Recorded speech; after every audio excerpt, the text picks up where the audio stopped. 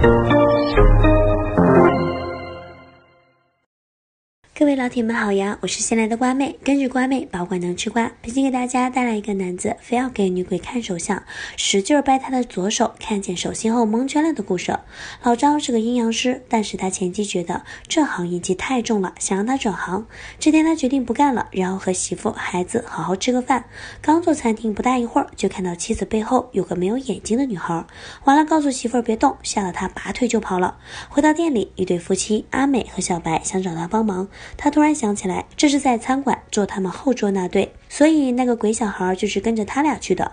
他不打算干了，就跟他们坦白了，说自己不干了，要看事，去隔壁找珍珍。然后临走的时候，小白就把他儿子的 CD 顺走了。不一会儿，店里又来了个女学生，不过她很奇怪，问啥都绕弯子。帮我睇爱情啊，睇下我同男朋友有冇好结果。冇问题，睇奖先啦。哇，左手。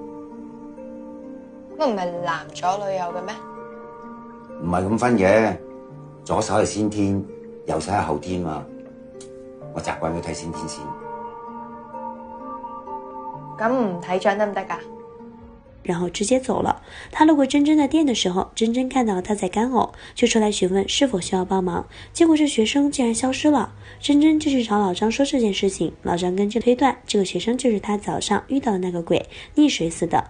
然后珍珍上网查，发现小白在的那所学校前阵子的确有个女孩溺水死了，而且女孩有了身孕。老张一听，那怀孕的阿美可能就会有事啊，就想着跟珍珍去抓鬼，顺便把 CD 拿回来。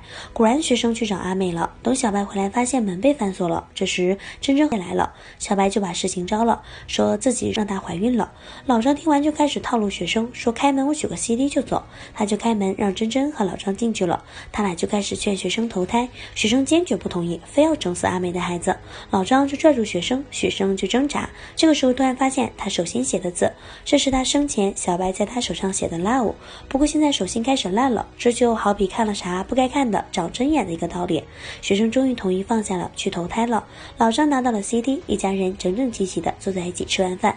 最后，老张儿子神秘兮兮的告诉他：“其实我有阴阳眼。”本期为大家带来的是香港恐怖片《迷离夜之放手》，这是李碧华鬼魅系列的故事。片子讽刺意味很强，属于那种三阶段式经典恐怖故事。每部片子都有几个故事构成，故事性很强，演员演技比较精湛。感兴趣的朋友可以去看看，推荐指数五颗星。今日的瓜妹说电影就到这，老铁们都看到这里了，就加个关注吧。咱们下个瓜再见喽。